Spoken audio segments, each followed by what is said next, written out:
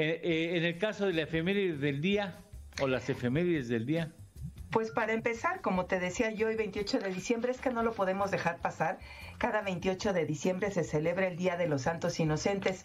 A pesar de que hoy se asocia a realizar bromas, es el día en el que se conmemora la matanza de todos los niños menores de dos años en Belén por parte de Herodes.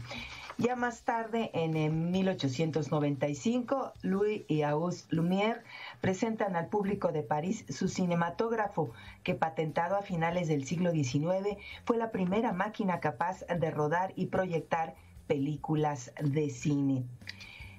En 1981 nace el primer bebé de probeta en Estados Unidos, que sería el décimo quinto en el mundo, con la llamada Elizabeth Jordan Carr y con un peso de 5 libras y 12 onzas. Es descrita como perfectamente saludable y la, nació en el Hospital General de Norfolk, allá en Virginia. Y déjame decirte que hoy en día eh, Elizabeth Jordan Carr, la primera bebé de probeta en Estados Unidos, eh, tuvo un hijo el 5 de agosto del 2010 llamado Trevor y actualmente ella ejerce pues la profesión de periodista y trabaja en el Daily Break.